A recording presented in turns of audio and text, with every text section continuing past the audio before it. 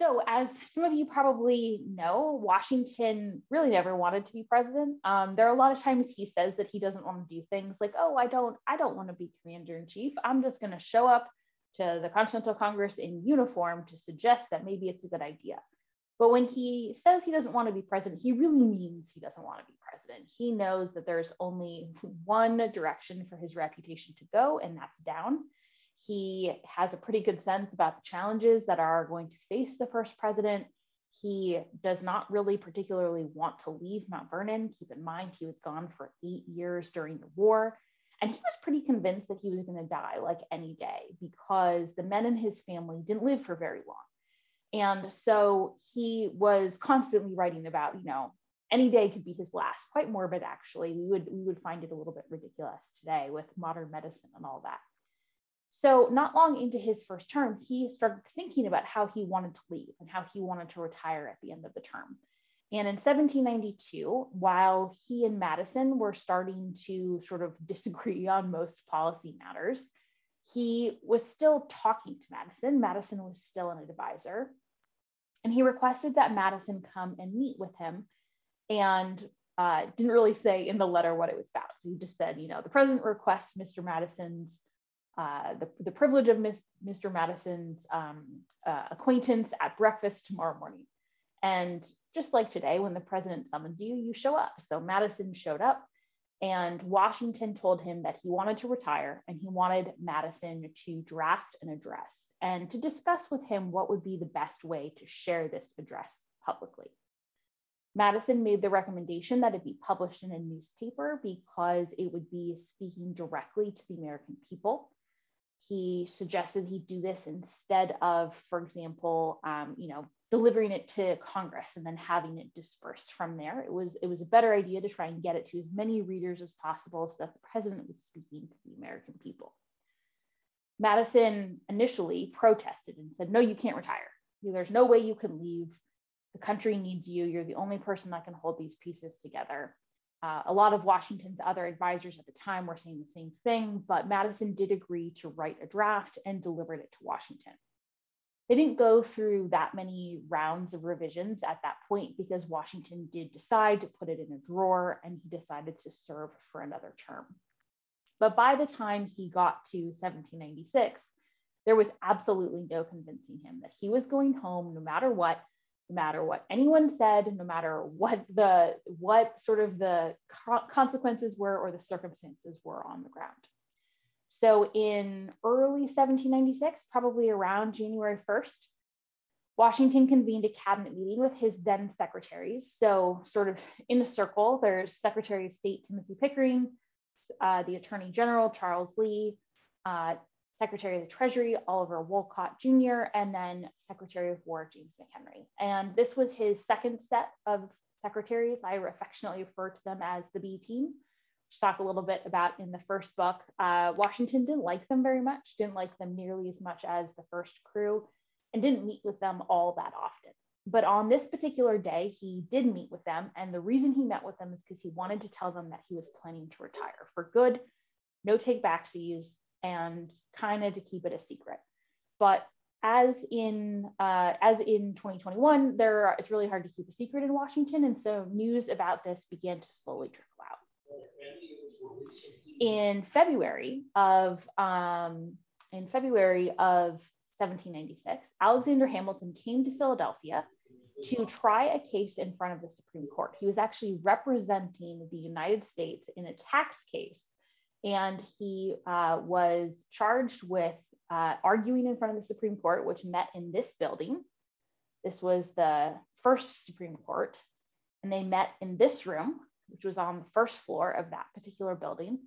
Uh, apparently, the case, Alexander Hamilton's argument, was such a feature of that particular week that Congress, no one was actually in the Congress building next door. Everyone basically left and went to go hear the case as he was sometimes wont to do, Hamilton talked for three hours, which I don't think would be permitted in oral arguments today. Um, but he apparently kept everyone's attention. All of the newspaper reports glowed about his arguments and how riveting they were. After Hamilton wrapped up his case, he went to go visit with Washington, as he usually did when he was in town. And he would have visited Washington at the president's house, which was on 6th and Market or 6th and High Streets, uh, just basically right around the corner from where the Supreme Court met. Unfortunately, that building no longer stands today, but this is roughly what it would have looked like, a 3D recreated version of it. On the, I don't know if you guys can see my little hand mouse, but on the second floor, there's a little alcove, a little brick alcove that juts out. That's where the president's private study would have been. And it would have looked something like this. Would have been absolutely stuffed full of furniture. There were at least three mahogany bookcases, Washington's giant French desk, which was about five feet wide, his dressing table, uh, his globe. Um, there was a stove in the corner, his uncommon chair. A lot of these items are actually still in the Mount Vernon collection. But Washington invited Hamilton to come into his private study and he shared with him that he was indeed planning to retire. The rumors were true. Again, Hamilton tried to convince him that this was impossible. He had to stay. The country wouldn't survive without him. Washington would not be convinced. And he asked Hamilton to draft up a farewell address. He gave him a list of some of the topics that he wanted to discuss, sort of general guidelines about the tone and what he wanted to convey. And then he handed over the copy of Madison's address from several years prior. And he instructed Hamilton to include a couple of paragraphs, basically copied and pasted from Madison's address. Uh, Hamilton agreed to do so. He left, he went back to New York City. He started working on his draft. He sent copies back and forth to Washington it's hard to tell from their letters, but it seems like maybe he actually left the Madison letter with Washington because then Washington sent it to him later and reminded Hamilton how important it was to keep a couple of those paragraphs in that address. And the reason Washington did so was as follows. By 1796, it was pretty clear that there was an opposition party. Thomas Jefferson and James Madison were sort of the uh, non official, official heads of that new party. Washington knew that they were incredibly critical of a lot of things that his administration had done, and he suspected that they would be critical of this farewell address. He figured by including a couple of those paragraphs that it was almost a shot across the bow to warn them against criticizing this action. Because, first of all, they had known about it. They had known he planned to retire several years before and couldn't quibble with that statement. They had also helped draft it. They hadn't objected to the concept of a farewell address. So it was really politically savvy to include those paragraphs. And let me assure you, I'm sort of getting ahead of myself here, but Madison and Jefferson knew exactly what he was doing. This message did not go missed. So Hamilton goes back to New York City. He's working on his drafts. He's sending them back and forth to Washington. Once he feels like he has them in a good place, Washington and Hamilton agree that they should bring in one other set of eyes. So Hamilton arranges to go meet with John Jay, who was at that point the governor of New York. At this point, the capital of New York was still in New York City, and the governor's mansion was at one Broadway. It overlooked the Bowling Green and the harbor. It was this beautiful brick mansion that had a view of the water from every single window. It was incredibly ornate. And Hamilton went and visited Jay at this mansion, and they worked through the farewell address, both in writing but also verbally. They read it out loud because they understood that in American culture at the time, it was very important that words sounded good. Basically, if you read them out loud, because these newspapers would be shared among family members, they would be read by the fireside, and they would also be read at places like coffee houses and taverns. It was pretty common practice for travelers to stop at taverns or coffee houses to hear about the recent news especially if they were illiterate. It was a way to participate in the political culture if you couldn't read or if you couldn't afford to buy a newspaper. So it was equally as important that these words sounded great when spoken, in addition to when reading. So when Jay finally felt like they had, you know, a good handle on what was being said, he suggested that maybe they run it by someone else. And at that point, Hamilton was like, no, too many cooks in the kitchen. And he said that he felt good about it. He sent it back to Washington and he encouraged Washington to hold on to it as long as possible. Washington had originally intended to publish this farewell address at the end of the congressional session in June. When Hamilton finally sent it back to him, pretty sure Hamilton dawdled a bit and stalled. He finally sent it back to him in August. And Washington then went through it, made some additional tweaks, added some additional lines. So it was very much his creation, not just Hamilton's. And then he did finally meet with a publisher to publish it in September. But Hamilton knew that when Washington finally made this announcement, it was basically going to be the start of a campaign season. And the Democratic Republicans, led by Jefferson and Madison, couldn't campaign against Washington. No one could campaign against Washington.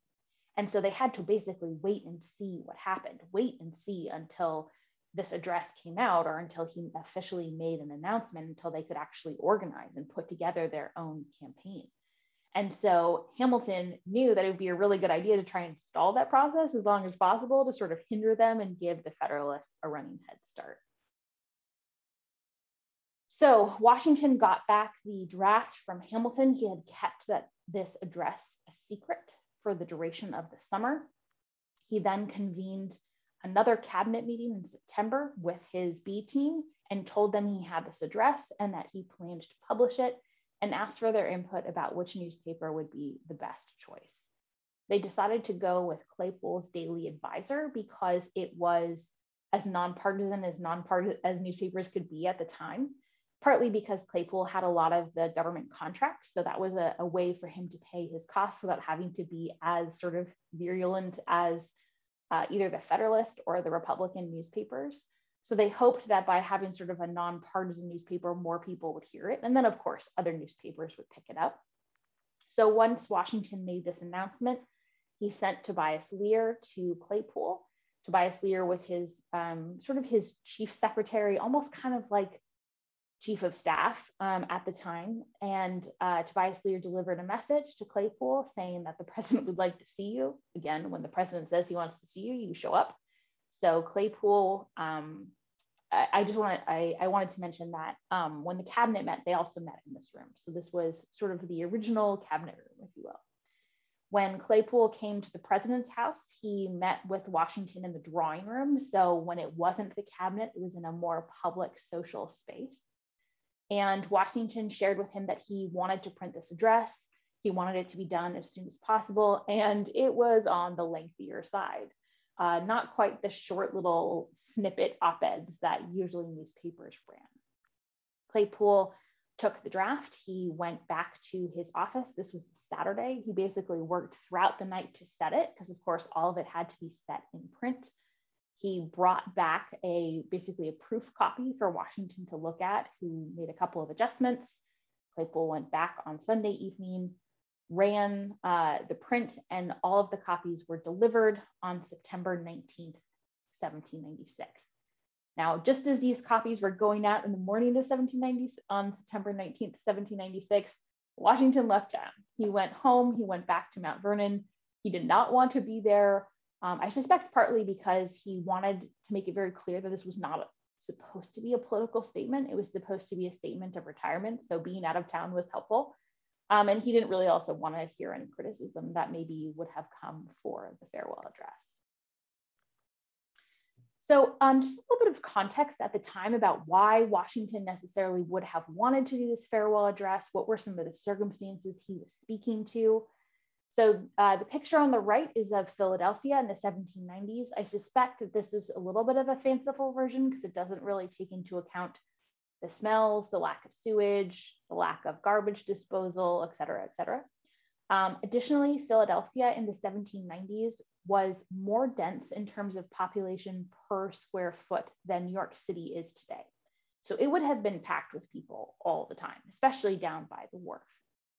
In the 1790s, as Washington was leaving, France was still sort of in the middle of its French Revolution. There was constant ongoing warfare in Europe.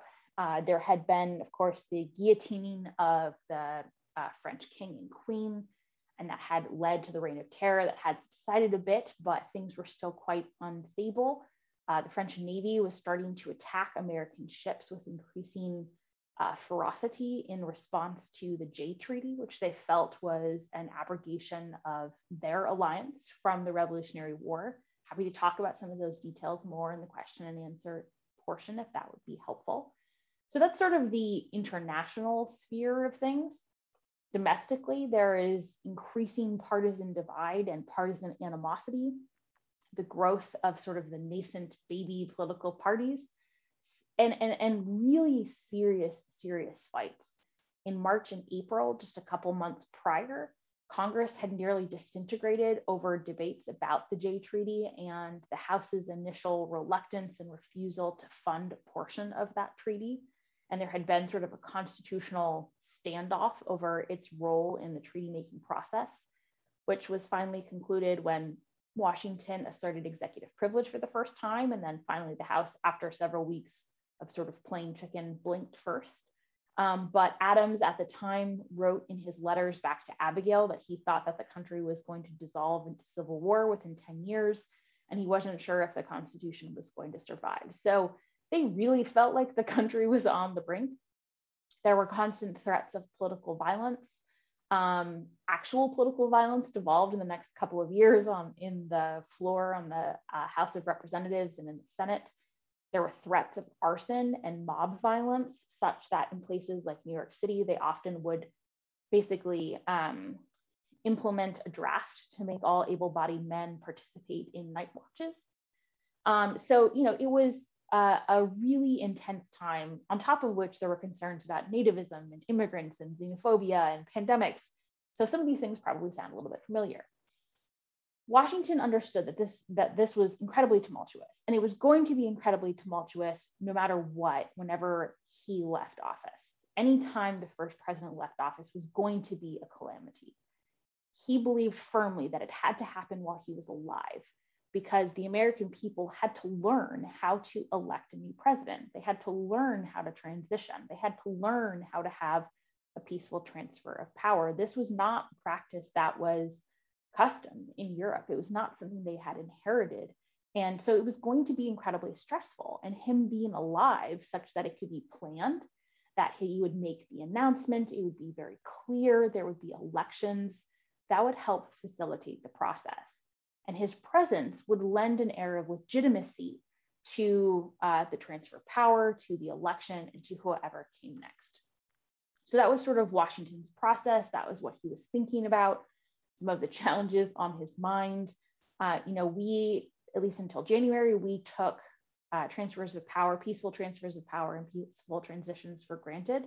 They absolutely did not. They were very concerned that it would all go awry and one wrong step would lead to the end of the nation, which sounds hyperbolic, but not really. Look at how the French Revol- Revolution had gone. You know, there were definitely worst case scenarios that they were concerned about. So, just a couple of key points that I think are really worth highlighting. So, the first is Washington talks about the centrality of the Union, the importance of having not a confederation, a union, which was much stronger and much uh, more permanent than a confederation. And he says this long before the Civil War, which is when we typically think about this sort of rhetoric. He makes an argument for why the union is helpful, why it's in everyone's best interest financially, politically, internationally, diplomatically, militarily to have a union, and why they can really benefit from having all of these regions tied together he talks about the importance of um, defending and following the Constitution, rejecting innovation or intrigue that's designed to undermine the Constitution or weaken the party structure. He believes that the Constitution creates this very strong federal government and a strong executive, and any attempt to undermine that is an attempt to undermine liberty. He makes an argument that rules and laws and constitutional limitations are actually essential to liberty. Of course, the last two are probably more familiar to you and to your students. He talks about the dangers of party spirit. Now, he doesn't necessarily talk so much about the dangers of political parties as operations, but rather as a tool to drive wedges between different regions, between different types of Americans. And he harkens back to this theme again and again that Northerners and Southerners and Easterners and Westerners, New Yorkers and South Carolinians have more in common than they have apart. And party spirit serves to obscure those similarities and try to highlight the differences. Lastly, he talks about the dangers of foreign attachments. Now, the concept of entangling alliances is a phrase that he does not use. So we will uh, look for that. I always encourage uh, teachers to have students look for that phrase. Spoiler alert, it cannot be found. He was sort of saying two things with this foreign attachments piece. One, of course, yes, having long term alliances is dangerous because it allows for countries to try and drag you into a conflict you don't want to be in. This was something he had learned in 1793 when France declared war on Great Britain and expected the United States to step up.